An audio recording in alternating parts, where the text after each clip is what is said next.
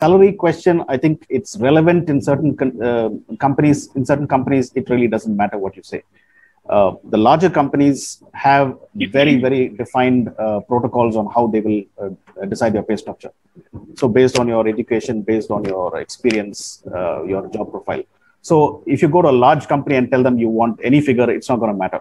So, I think certain large companies, when you're interviewed, you should say, I, am sure your policies have something in place. I'm okay with that. I think that's the simplest answer, which uh, which makes sense, and there's no point of going you know all over the place. If it's a smaller setup where there is a leeway, that means you have your your conversation is going to impact the salary. Then you can you know pitch what you're looking for. But again, homework. So if you're if you're on Glassdoor, if you're on Naukri.com, there, there's a lot of research to show for your role for your um, experience for the uh, the niche in which you are, which industry vertical you're working for, you know, what are the salary bands like? And they'll even tell you things like, if it's a, a small and medium company, this is the salary range you can expect. If it's a larger company, this is what you can expect.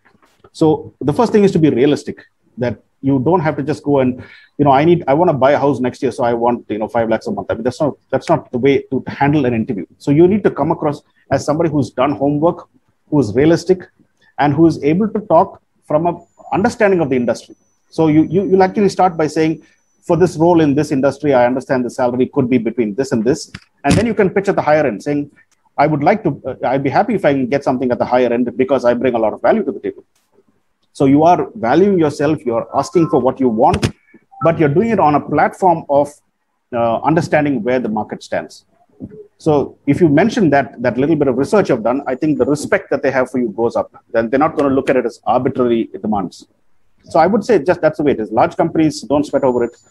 Um, companies where your conversation is going to have an impact and you're really getting, going to get into a negotiation, then you that's the place where you pitch your skills and strengths uh, very solidly, and you ask for something which is based on industry bands.